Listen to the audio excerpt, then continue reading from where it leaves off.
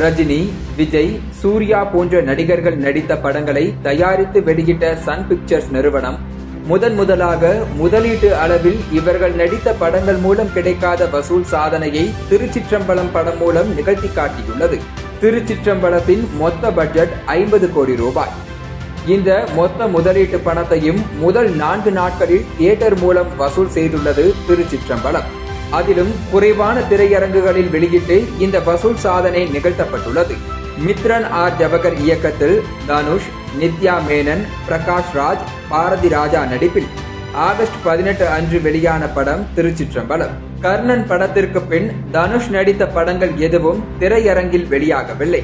ஜகமே தந்திரம் மாறன் மற்றும் இந்தியில் அவர் நடித்த அத்ரங்கி ரே ஆகிய படங்கள் ஓடிடியில் வெளியாகி வணிக ரீதியாகவும் படைப்பு ரீதியாகவும் தனுஷுக்கு தோல்வியை தந்தன. இந்நிலையில் திருச்சிற்றம்பலம் தனுஷ் திரையுலக வாழ்க்கையில் முக்கியமான படமாக மாறியது. படத்தை தயாரித்த சன் பிக்சர்ஸ் நிறுவனம் பெரிய அளவில் ப்ரமோஷன் செய்து வெளியிட ஆர்வம் காட்டவில்லை.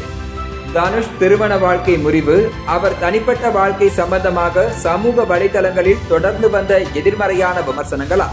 பெண்கள் ஆதரவு இருக்குமா? குடும்பங்கள் படம் பார்க்க வருவார்களா என கேள்விகள் எழுந்து வந்த நிலையில் திருச்சிற்றம்பலம் படத்தை வெளியிடவும் அதற்கான ப்ரமோஷன் நடவடிக்கைகளிலும் தனுஷ் நேரடியாக கவனம் செலுத்தினார். ஏற்கனவே ஆகஸ்ட் பனிரெண்டு அன்று வெளியான விருமன் திரைப்படம் நானூற்று அறுபத்து ஐந்து திரையரங்குகளில் வெளியாகி வசூலை குவித்துக் கொண்டிருந்தது.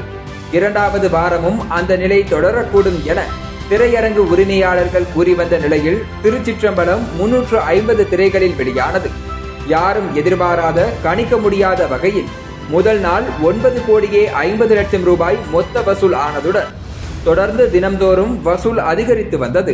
நடிகர் தனுஷின் திரையுலக பயணத்தில் அதிவேகமாக முதல் நான்கே நாட்களில் ஐம்பது கோடி வசூல் செய்த படம் என்கிற சாதனையையும் நிகழ்த்தியது. வெற்றிமாறன் இயக்கத்தில் தனுஷ் நடிப்பில் வெளியான அசுரன் திரைப்படம். ஐம்பது கோடி ரூபாய் வசூலை பத்து நாட்களில் கடந்ததே சாதனையாக இருந்த நிலையில் தற்போது திருச்சிற்றம்பலம் திரைப்படம் நான்கே நாட்களில் ஐம்பது கோடி ரூபாய் வசூல் செய்து சாதனை படைத்துள்ளது.